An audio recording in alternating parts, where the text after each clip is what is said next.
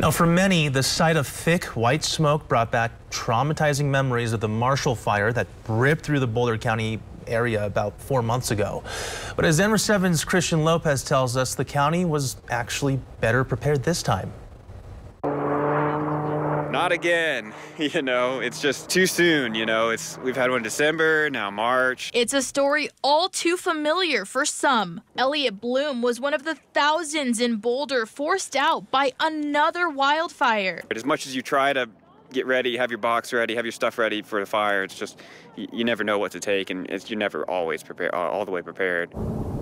The NCAR fire sparking just miles away from where flames tore through more than a thousand homes three months ago. The Marshall fire is kind of on the tip of everyone's tongue, and so um, I think that's fresh in everyone's mind, and that's kind of why everyone took this very seriously.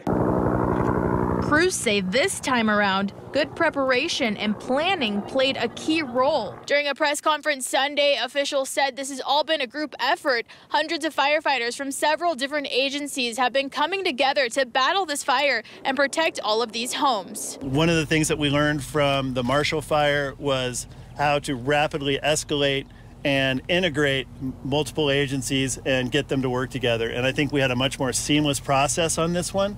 Uh, we continue to learn from every one of these fires, and uh, we certainly saw an improvement. It's very comforting to know that we have this much help around us. While he's thankful to have a place to stay for the time being, his concerns haven't gone away. Until I can get home and get settled, it's just, you're kind of on edge. It's just how it is. In Boulder, Christian Lopez, Denver 7. And those are some very valid concerns, Christian. Thank